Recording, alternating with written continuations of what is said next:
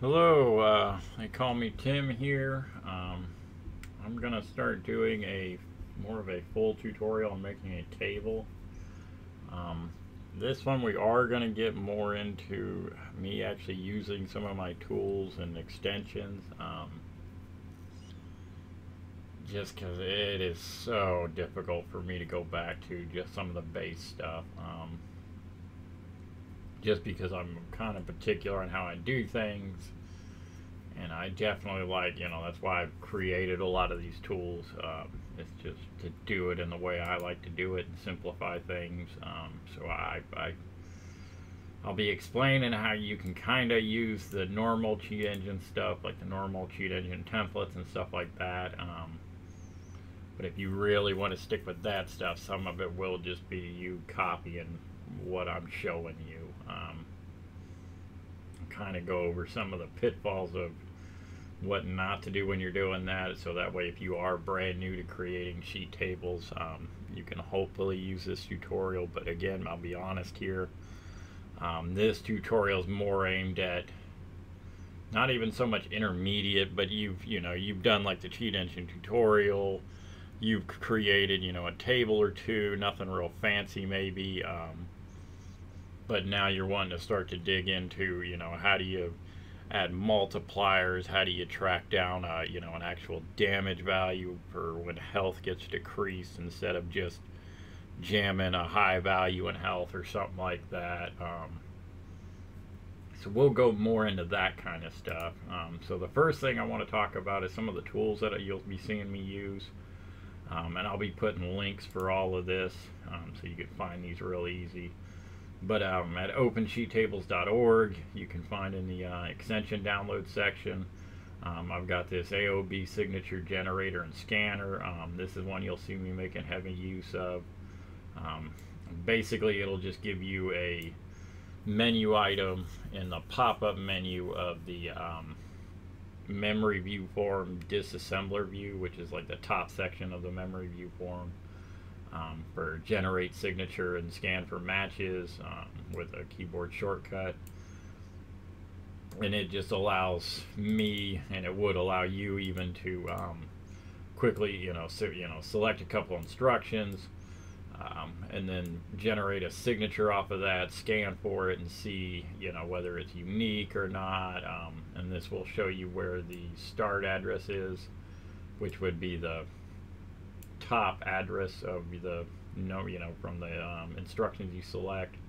Um, and it will tell you you know if it's if it was here instead it would point there but this way you can kind of know whether this AOB will work. Um, so again not completely necessary but I think it is pretty handy. It's definitely quicker than trying to copy bytes take it over there manually parse stuff to remove stuff that might change. Um, it's not bulletproof. It kind of just mostly strips out anything that's four bytes, uh, whether it be an offset or an address. But you can just download this file, pop it in your auto run folder, and make use of it if you'd like to. Um, I'll be using my uh, template engines here. So I've got the auto assembler one. Um, this does come with, this archive does come with a templates folder for some, um, does have basically have all of my templates. It because it actually requires a different module to generate memory records. You'll see that my templates do generate memory records for me. Um, this one doesn't do that right now. Um, it just doesn't have the stuff needed to do that. Um, if you're real interested in that, I can maybe do a, a, different release and maybe put it under this one just so that way people can kind of pick and choose how they want. Um, but just for some basic templates, this can kind of get you started and going and like I said, it's already got some templates in there that we'll be using. Um, the Lua script template engine, same kind of thing. Um, this one does not include the main one, you, know, really the only one you'll see me use, um, which is a table starter one.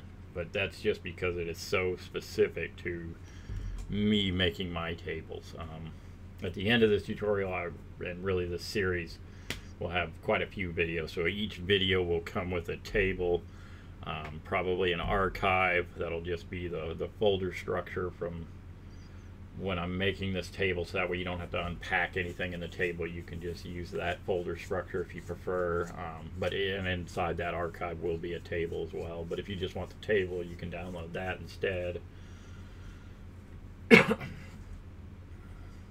And then also an archive of my um, all of the modules I'll be using. Um, not the tools, but just the modules. You'll kind of see that. Um, and so then another one is this table file package loader. This is just what I use to load up my modules. Um, we'll kind of see that getting used here before too long. And then over at um, the forum.cheatengine.org in the cheat engine extension section, um, there is this extra memory record info, um, a handy one that I like to use. I am actually using PredPray's version. Because I think he updated it and added a couple things, um, and it's working still on 7.2. Um, and I want to say 7.4. I didn't have any errors with it, but but at any rate, it just kind of gives us some you know quick access to some information about the memory records. Um, be able to copy the pointer string and stuff like that. Um, you'll see why I kind of like using that.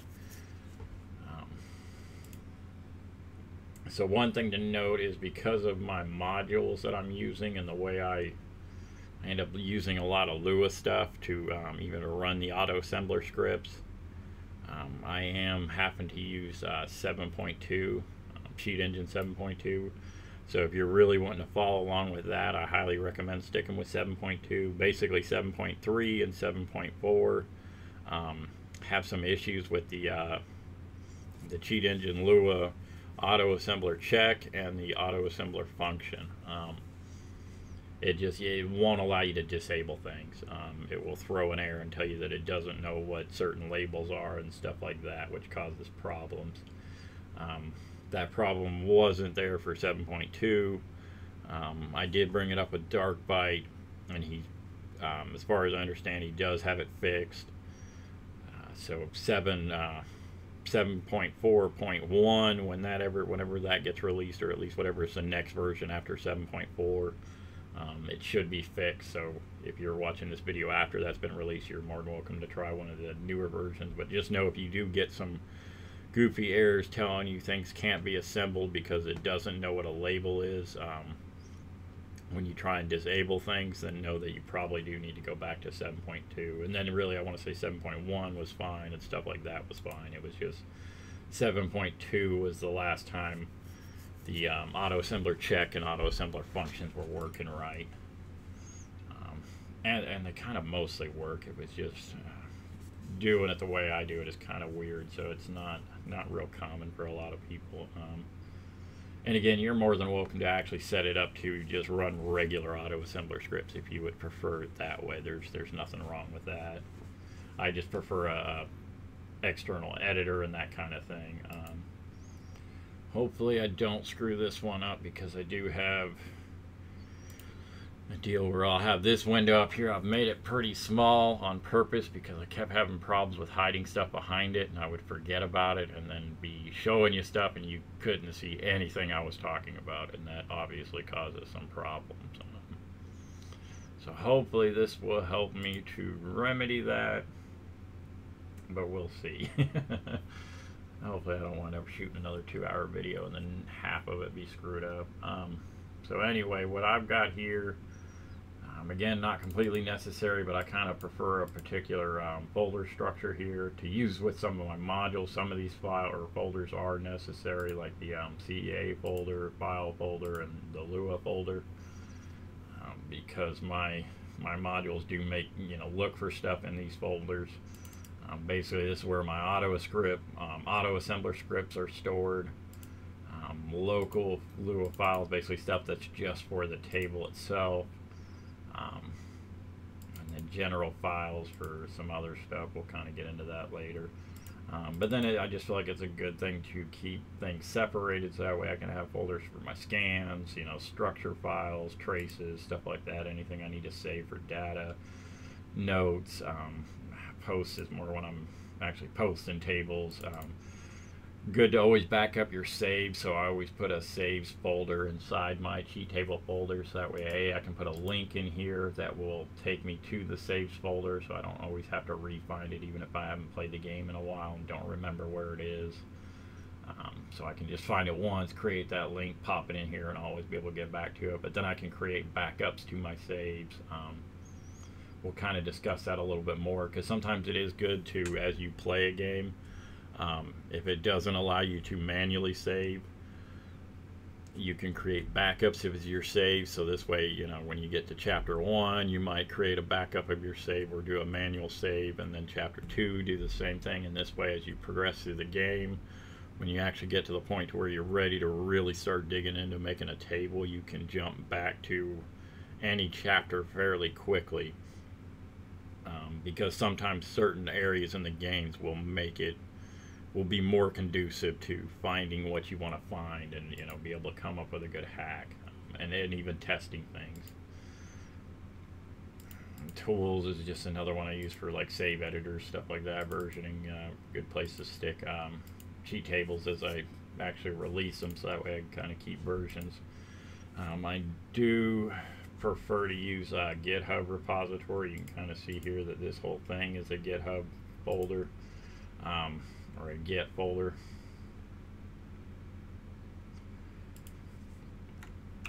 And we can kind of dig into that a little bit later. Um, so here I've created a copy.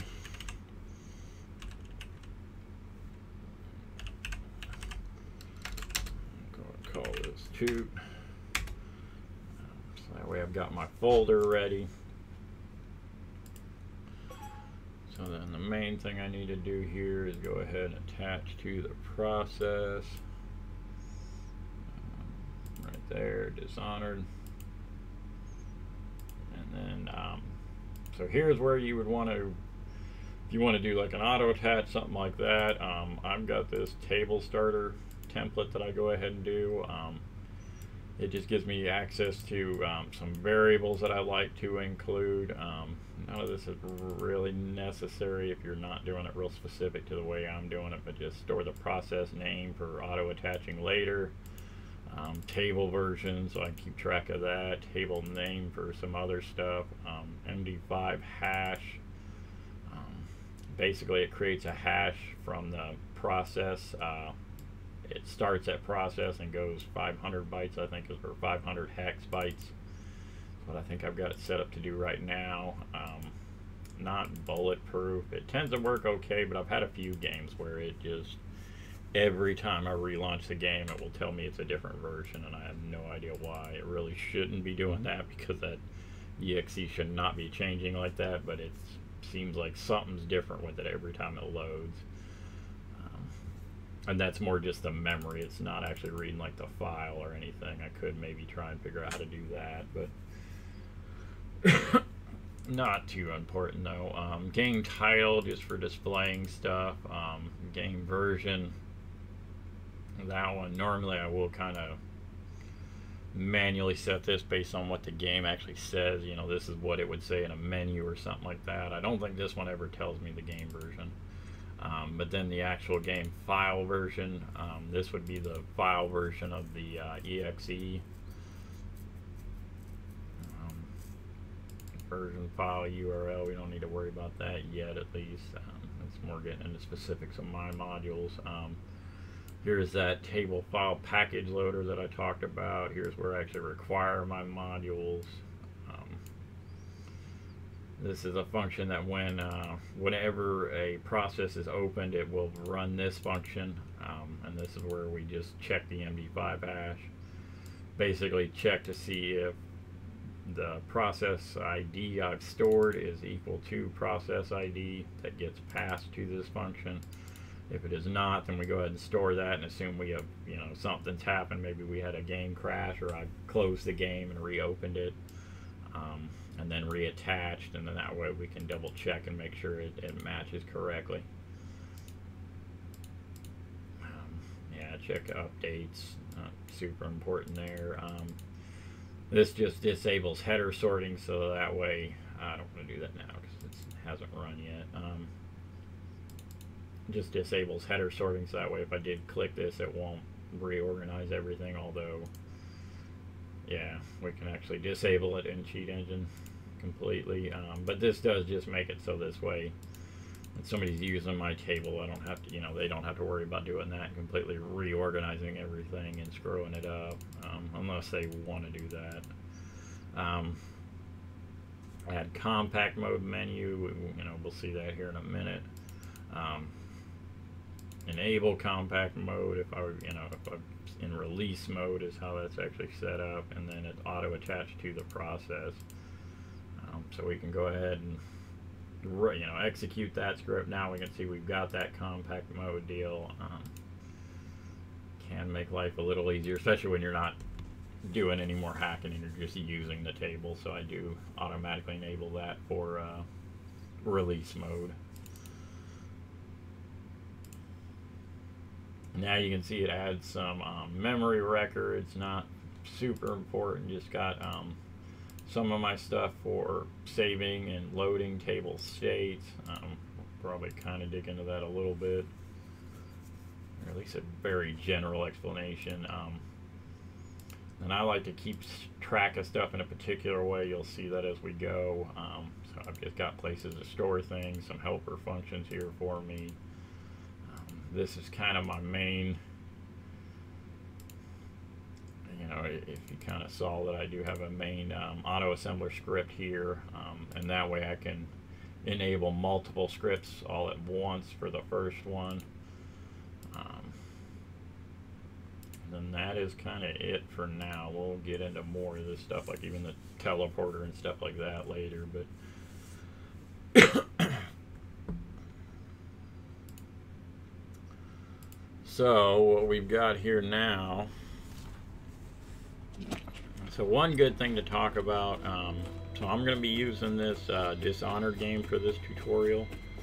Um, a pretty good game to play in general if you haven't ever played it. Um, I definitely enjoyed the heck out of it. Um, there are some major differences with uh, 2, Dishonored 2 versus the first one. So I would kind of say try and stick with the first one. But in theory, you could use any game, so you could even use 2 if you have that one. Because there are some definite similarities, but there were some, I, remember, I don't remember exactly what, but there was a decent amount of stuff that was quite a bit different.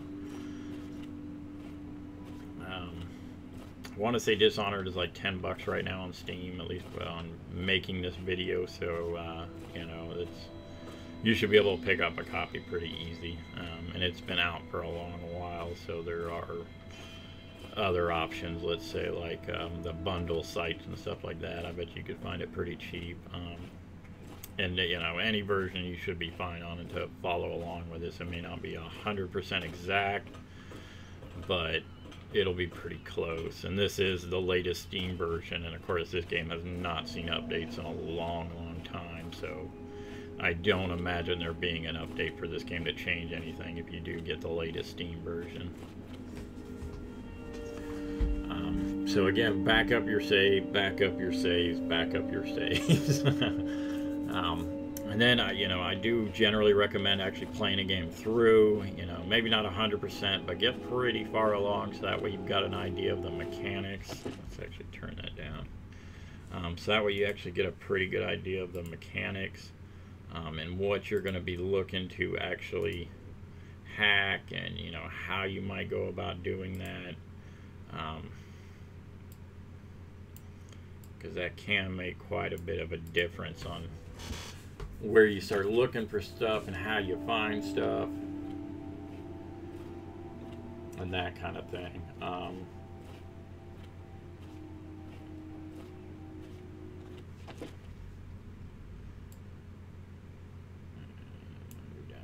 far.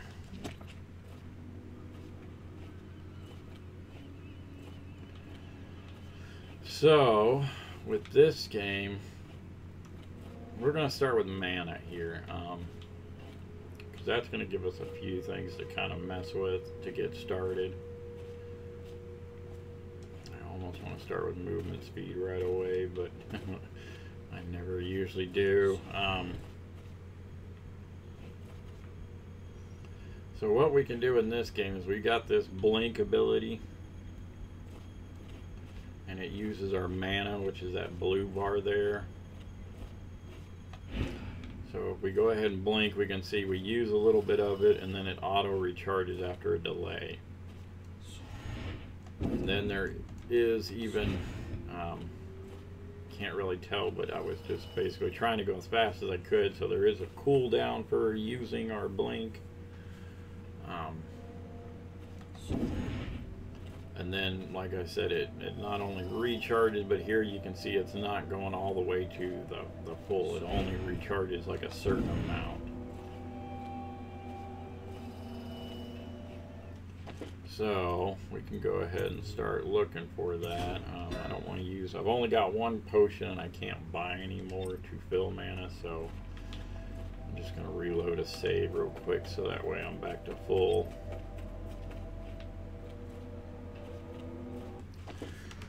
So here what we want to do, we'll go ahead, since that is a bar, I'm going to go ahead and say we'll start with float. And um, normally I'd go ahead and, you know, start with selecting this um, simple values only. We're going to do our first couple scans without it just so I can show you what we're going to be copying out, what we're going to be filtering out with that. So unknown initial value, do our first scan here.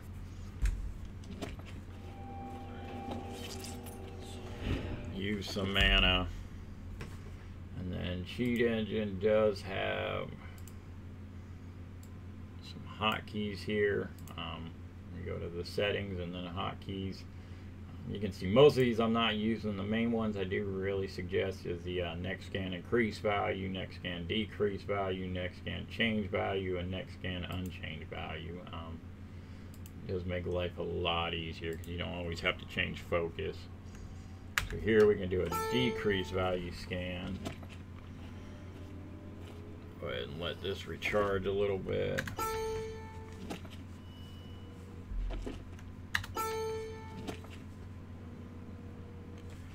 And even when something's filling up like that, I'll not only once it hits full, I'll give it a couple seconds to let it fill up 100% to make sure I'm back to what we need to be because we'll go ahead and compare the first scan here in a second. Um, so if you notice these values here, we've got, you know, they're a little different looking. Um, if you're unfamiliar with scientific notation, that's what this is. Basically what it'll do is it'll take this value and then multiply it by 10 to the power of minus 6. Um, so I'm thinking right. Yeah, this would make it more. So essentially what this would be is we'd have, you know, that'd be 1, 2, 3, 4, 5, 6, and 7. So that would be the actual number. Um, but it can't really store this number correctly. So it stores it in a different way. And the way Cheat Engine displays it is with that that E to tell us that it, you know, it has an exponent essentially. Um, you know, it does store that, but it just doesn't store it exactly like we're seeing it here. Um, so when we simple, you know, do simple values only, it won't, you know, it, cheat engine will automatically filter out that kind of stuff because the idea here, if we look at this one again, um, we can kind of see that this probably isn't even a float. Um, see, that looks more like it's probably an address, so this would be part of a pointer chain or something like that. Maybe, uh, you know, of course, we I have no idea without actually seeing what's accessing that and how it's accessing it and all that. But educated guess for me would be that that is, you know, probably an address and not a float. So now we can go ahead and do, uh, I'm pretty sure we can do an increased value scan just to make sure I'm not screwing this up. I go ahead and use mana and then do a decrease value scan. Sometimes you do got to do that kind of thing. For that to start filling. Completely full, give it a second. one more increased value and then we can do a couple unchanged value scans here.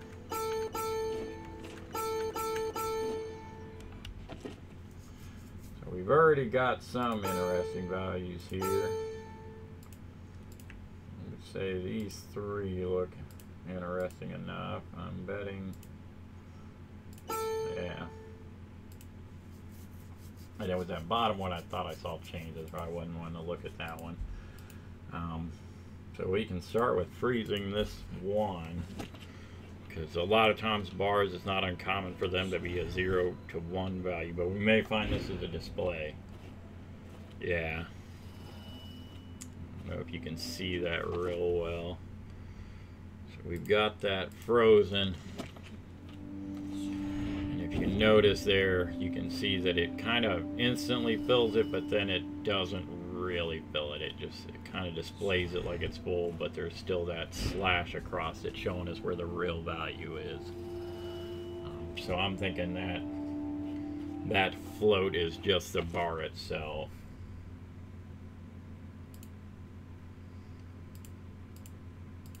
And we can go ahead and freeze these.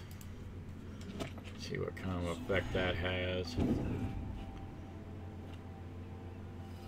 Yeah, there we can kind of see there was a little bit of a twitch there when it started out. So they have something to do with mana, but uh, you know, I couldn't tell you what.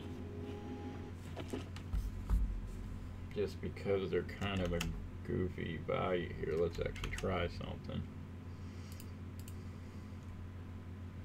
You know, because I, I really would expect these to be whole numbers. So what we're going to go ahead and do is look at float. Now those are probably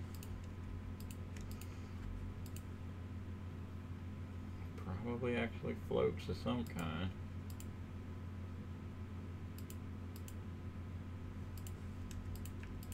Yeah, not real sure what those are. Why they're that value. But since we didn't find what we were looking for, now we're going to try um, 4 bytes.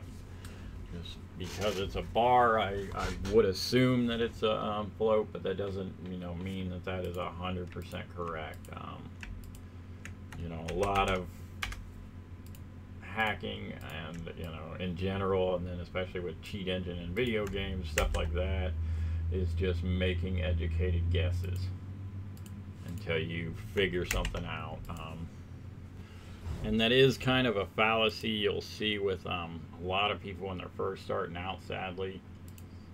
Is they'll really get stuck on this idea that things must be certain things just because they see it a certain way or something like that. You know, say this actually did have a number that was displayed. Um, you know, and it was always a whole number. It was never a decimal point of any kind. You know, again, that wouldn't necessarily mean it's a float or I mean, a, um, an integer. It still could be a float, and the game may only display it as an integer. Um, so try not to ever get stuck in that kind of thinking because that's where you know if you've ever dealt with people trying to help them learn stuff you you know I've run into plenty of people that will just ignore every bit of advice that people give them and they just absolutely get stuck on this you know well, no, the game shows it with the decimal point, so it has to be a float, and you're trying to explain it. No, it doesn't. You know, it could be being rounded for the display, it could be this, it could be that. Um, just because you find a string that matches it doesn't mean that's the actual value you need to manipulate. So you just gotta, you know, make some guesses, try to find some things, see what works, see what doesn't, and kind of go off of that. So since float didn't find us what we were looking for, now we're going to try four byte value. Um, does kind of surprise me again with it being a bar. I really would have expected to be a float, but but not crazy or unheard of. Wouldn't be the first time I was wrong on something like this. So we'll go ahead and do our first scan here. Use some mana, decrease value increase, increased, increase, unchanged.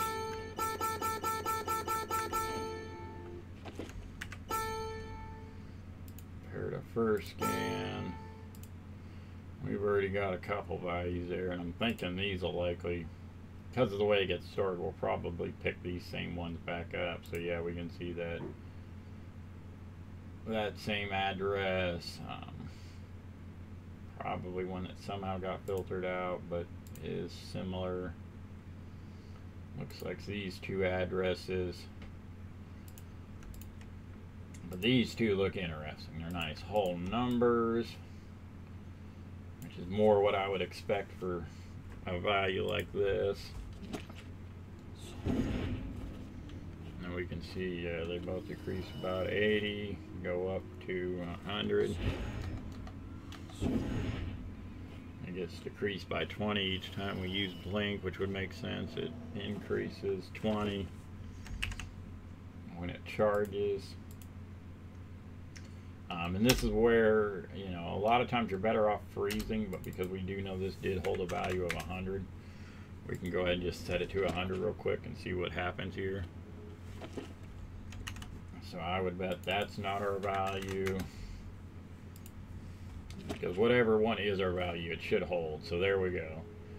Um, we just seen there it updated the other one. Our bar has filled, and then it even set that float to one and updated the other two floats. So I would definitely say this is our mana. Drop that down there. I'll keep track of it. I don't think I need any of that anymore. So I'm saying this is our mana. So now we're going to go ahead and use, um, find out what accesses this address. I want to attach the debugger. Hopefully I don't screw up and hide shit behind this window or the game projection there, I guess maybe would be the better wording. So we've got four addresses that constantly fire. Well, I say constantly when the game is unpaused. Um, to grab addresses, I kind of prefer if I can find something that fires you when the game is paused, but it doesn't look like that's going to be an option here. Um, we might be able to backtrace this a little bit. And we might even do that. We'll, we'll see what we're going to do for this first video.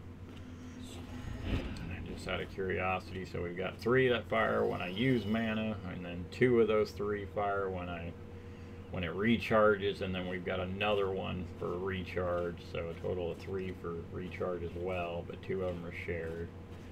And it looks like we can see this is a write so it looks like we have one single instruction that writes to mana whether we're using it or it's recharging. Um, and I'm willing to bet yeah I think we can go ahead and do that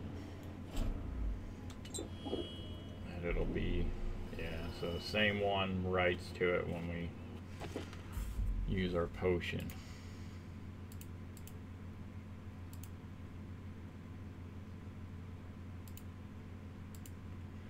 And I'm not sure what this one is doing other than maybe making sure it's always under max.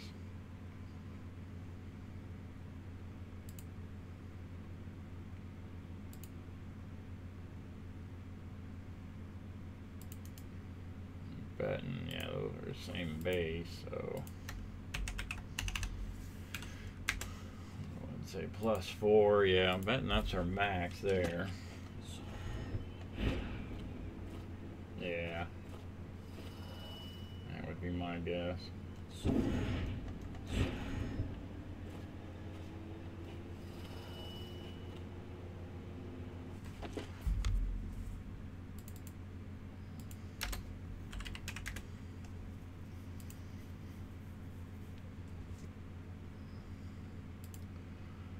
So, um, a couple options we have that we can do here. So let's say you were just wanting to use the pointer scanner. Um, one easy way to be able to get back to that address constantly without really having to do a whole lot extra um, is just go ahead and, you know, make sure that this is a good instruction. So we go show disassembler.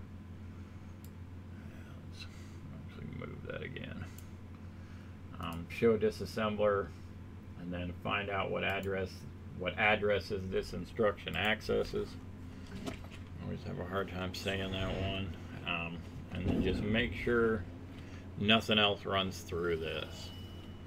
Um, again, we may find later that something does when we get around combat combatants or enemies or whatever the case may be, whatever you want to call them.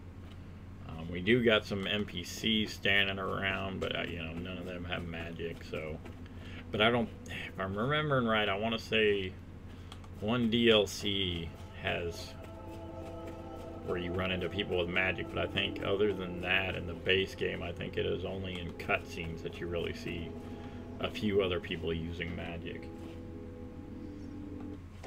So I'm thinking this is a good instruction to grab our base here. So again, we could either use here and just um, add to code list or even do that here. Add to code list and what it will do is in this advanced options tab, um, it will just add it to here.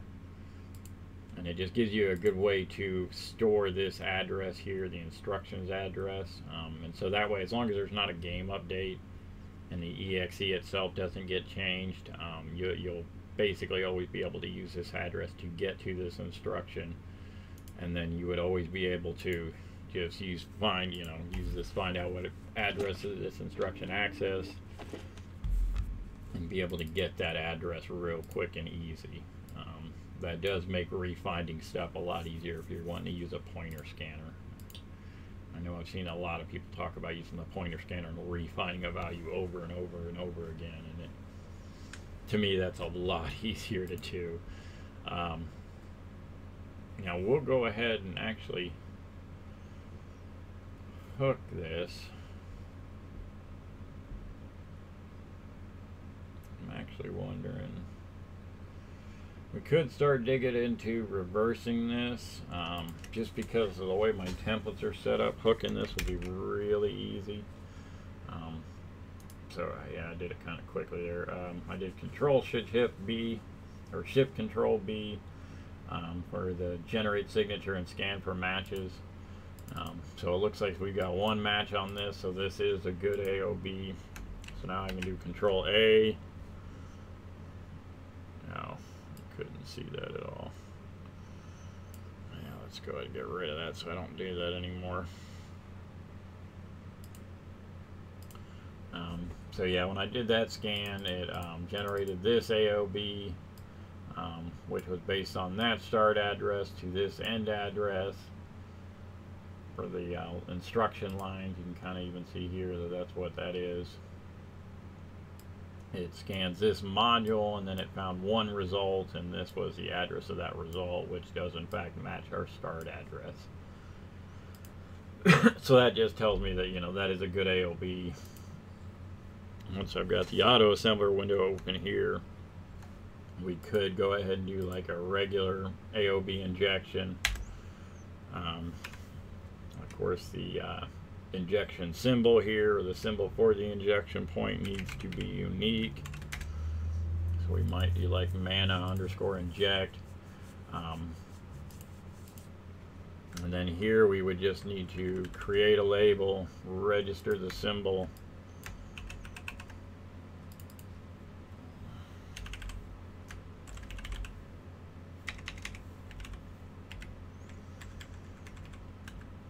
then here you'll see I end up doing it differently, but if you're jumping a new mem, um, you can't pack stuff up here. Um, this can only be code because it's going to jump here and try and execute everything underneath it. Um, and so in this case it would start here and then it would basically just wind up going to here, executing this code, and then executing this which would bring it back to here to where it would continue on and this would be after the injection point. So that's where we can get away with storing stuff here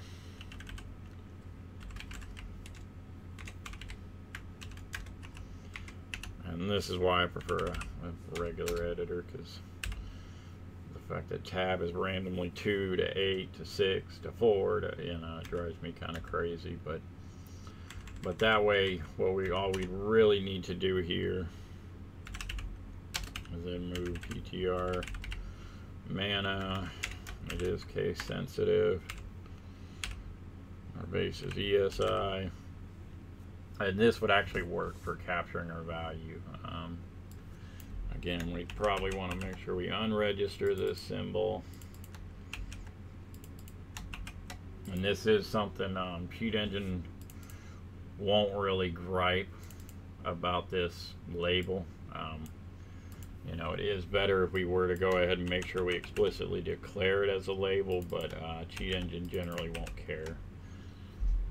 It'll just kind of figure out that, okay, this is a label and start treating it like a label because it will go through all of this script once. I want to say it actually does it three times. It will go through all the script for once, um, do any preprocessor stuff, um, so like Lua code, if we included that in here, it would generally be considered um, not the Lua code block, but just Lua. Um, and by that I actually mean Lua and not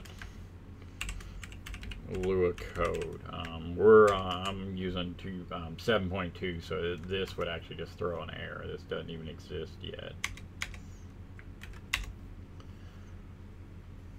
But it, so it would run that kind of stuff. Um, then it will kind of reinterpret everything and then go through it and do any kind of replaces. So this way, if you've got custom auto assembler commands, um, any defines or stuff like that, then it kind of runs through it again, replacing stuff, and then it will run through it. I, I, believe it is on the third run is where it will actually start assembling stuff. And so by then it kind of knows what what's what whether or not it should throw an error or just see it as a symbol, you know, or as a label and that kind of thing.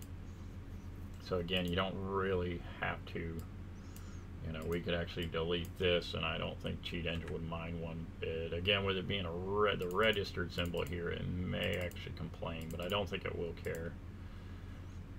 It's just been a while since I've tried. Um, but so what I'm actually going to do here Again, Control A. And I'm going to do Control Alt 7. Oh, no, no. Control Alt 6, which is my AOB full injection. Um, the custom AOB full injection template here. I don't need to offset my injection point from my AOB. I'm going to call that mana, and it's going to automatically call it mana hook. Want to save that file under the name mana hook.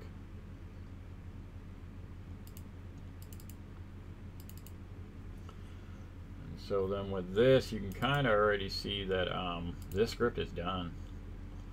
Um, my base template here is you know already kind of set up just to store stuff. Um, at most, I just need to double check and make sure I'm using the right base here, which we are. Um, we've already got our pointer declared.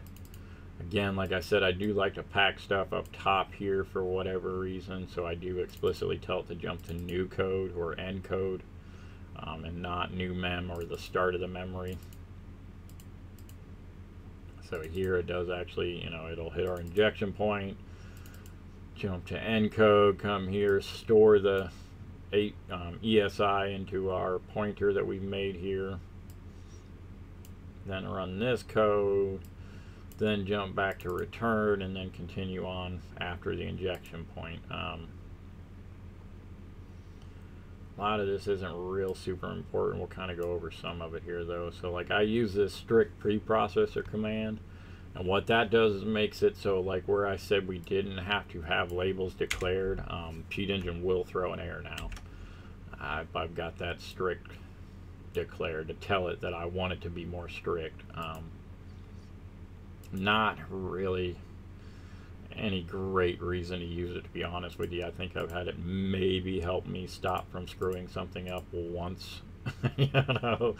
But for whatever reason, I, I kind of prefer it to be a little more strict. So this way, I you know I declare everything properly, and then then I place it, and then maybe actually use it.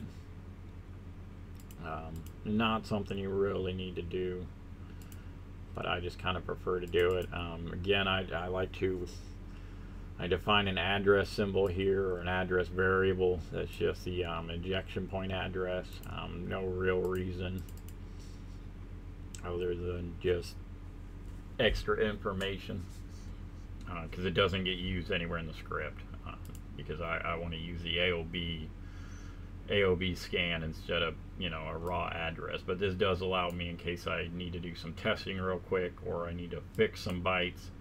If I screwed something up when I was trying to disable it, I can generally use this and you know get that done pretty quickly and easily. Um, and then that in combination with having all these bytes here, I can kind of reset a lot pretty easily. And I do always recommend mouse keeps wanting to do all kinds of crazy things. Um, I do generally recommend always leaving in this commented out code. I mean, it does add some bulk to your tables, I guess. Um, but to me, it's well worth it because when it comes to updating or fixing things or whatever the case may be, or just remembering what's going on, it's, it's a lot nicer to have a little bit of code to go with your script so you know where things are. And then if you know if we got a game update, we could actually start scanning for different combinations of bytes until we find this point again. Um, whereas if all you got is this one thing, then you know you don't really have a lot of information to go off of.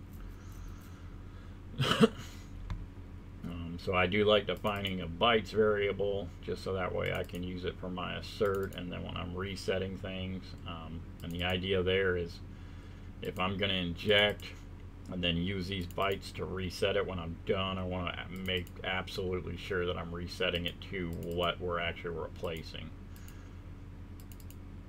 So that way I don't screw something up in case there is an update and say this offset changes. Um, I want to make sure that I'll become aware of that very quickly.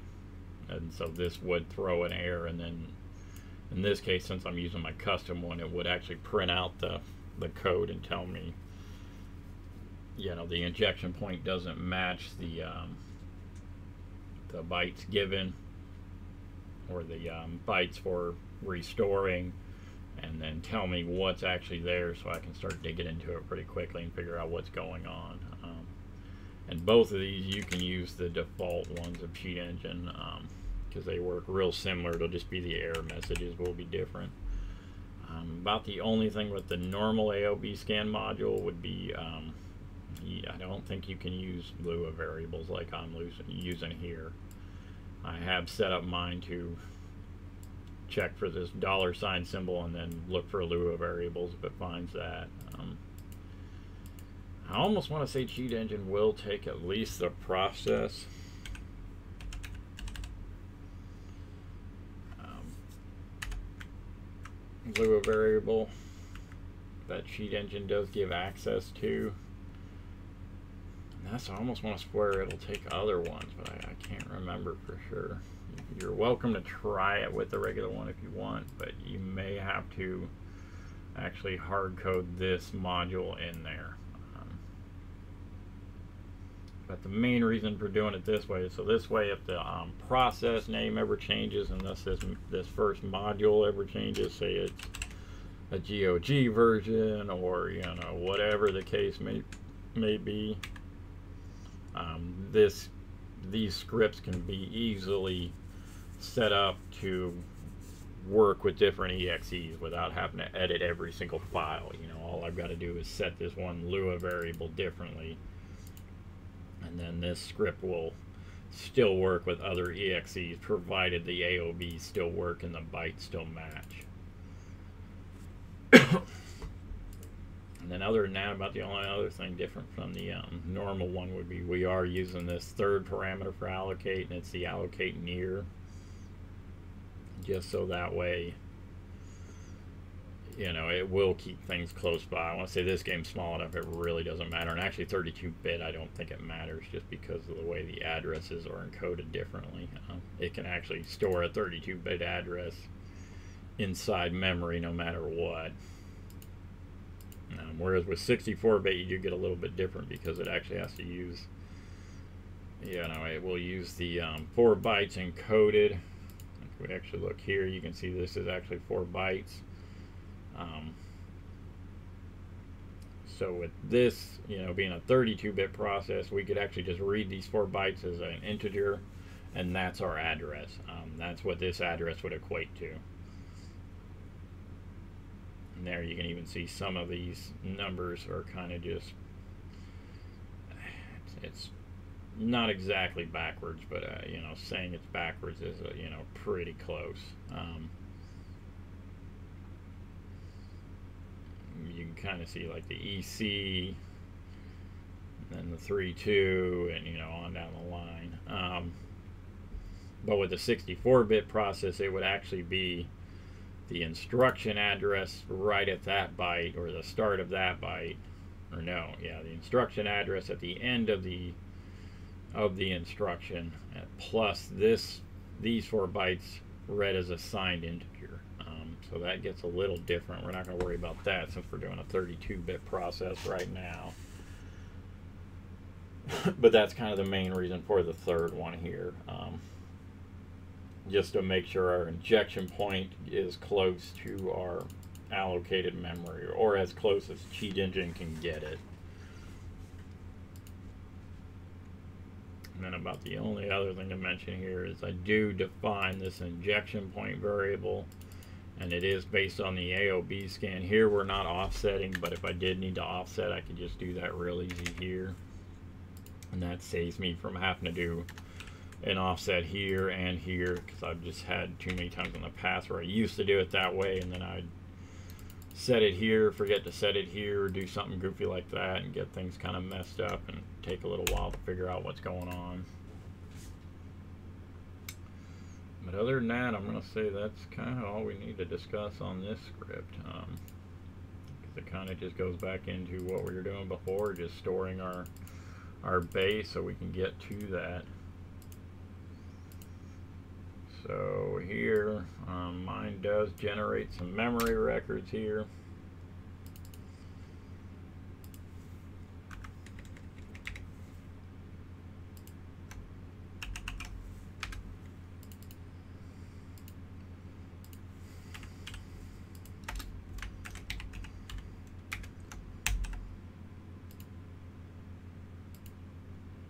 Oh. Um, so one thing to mention if you're doing something similar to what I'm doing, um, when we open Cheat Engine and then save a cheat table like we've done here, um, it does not change the working directory. So Cheat Engine isn't currently running out of this directory. Um, it is still running out of the actual Cheat Engine directory itself, um, where the exe is stored.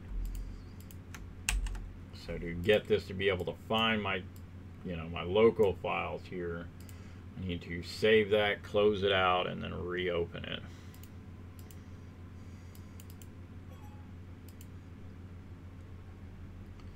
And then, it, you know, I'm set up to auto execute um, the Lua script always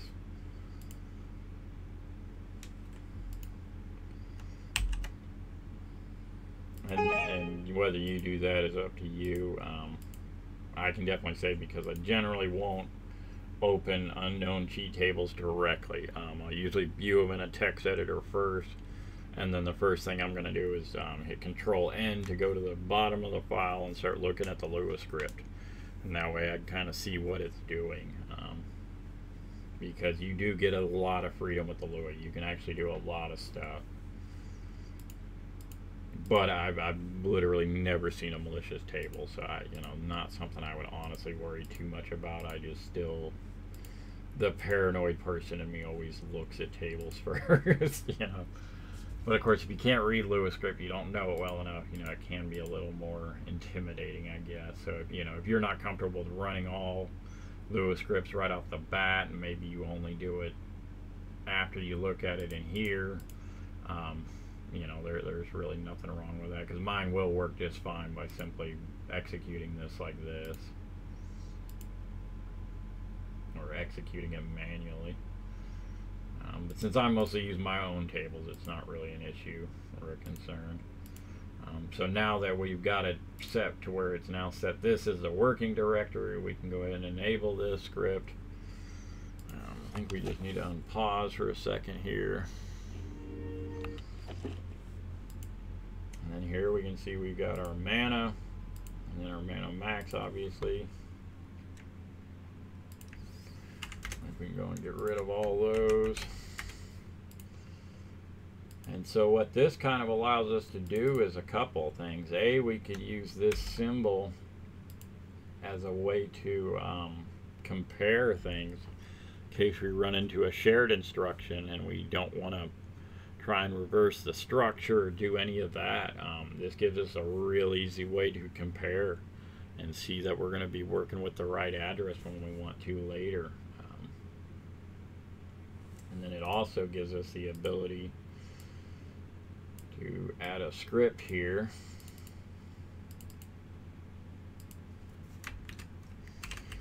Call this fill mana. Really hope I'm not hiding things here.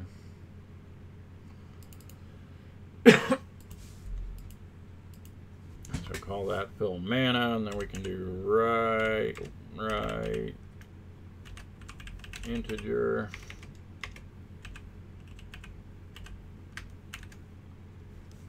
This is where I was talking about that um, extra memory record info. We can select that memory record, copy the pointer string,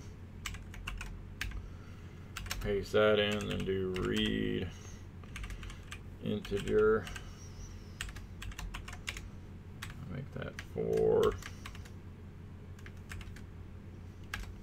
And I have a function, um, and you can look on opencheattables.org.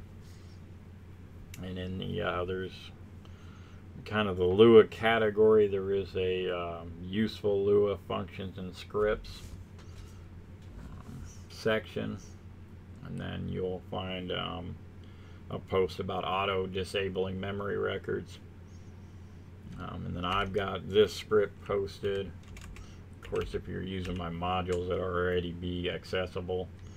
Um, but then there's actually a couple of other scripts. Um, everybody kind of posted their own way of doing it, which I kind of liked because you just even I got to see different ways of doing it, um, ways I hadn't thought of, and that kind of thing. Um, disable.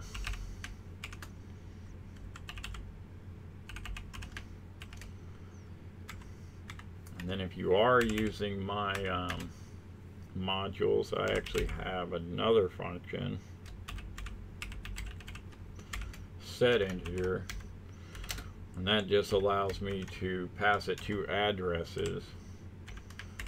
And basically it will read from this address and then set this address based on the value it read. Um, so it kind of, you can basically see it's real similar to this, but a little less typing.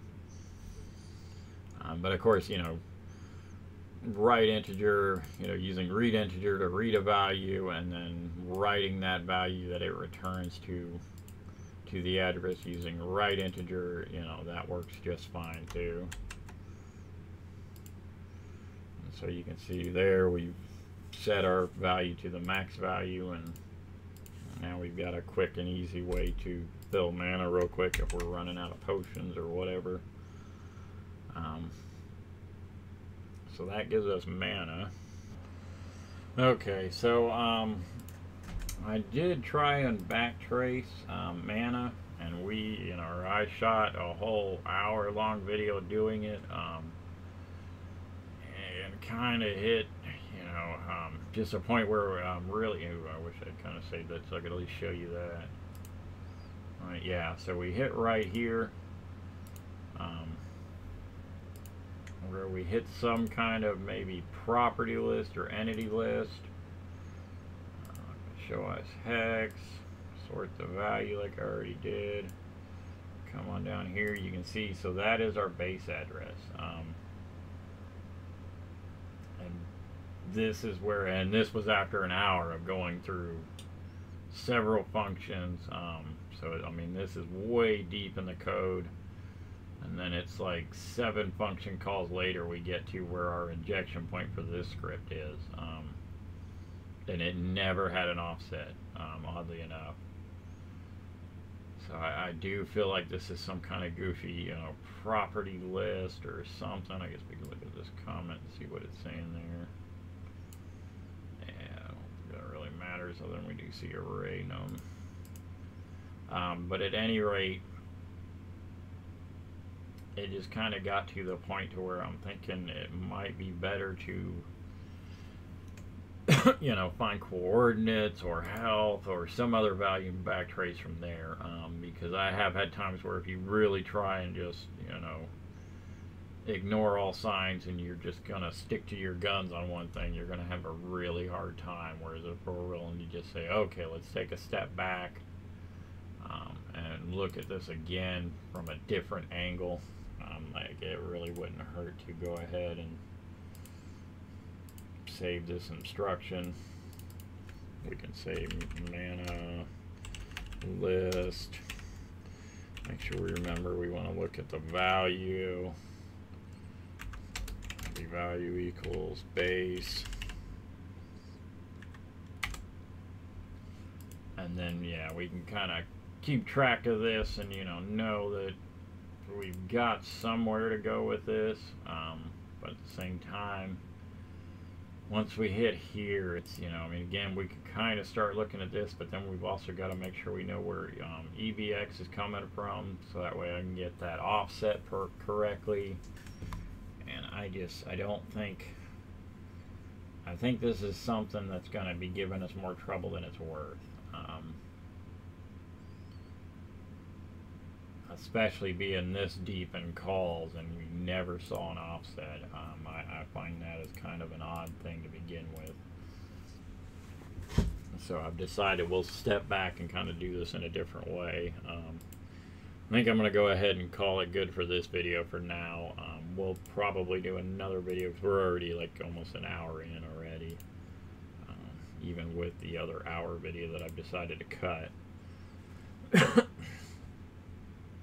And we'll just go ahead and write some scripts for mana and actually get like an infinite mana going, maybe an, an instant charge or something like that. Um, whether you know maybe that delay for the timer for when it starts charging, try and get that down to where it's a smaller value or zero or whatever, and it just instantly starts charging as soon as we use mana.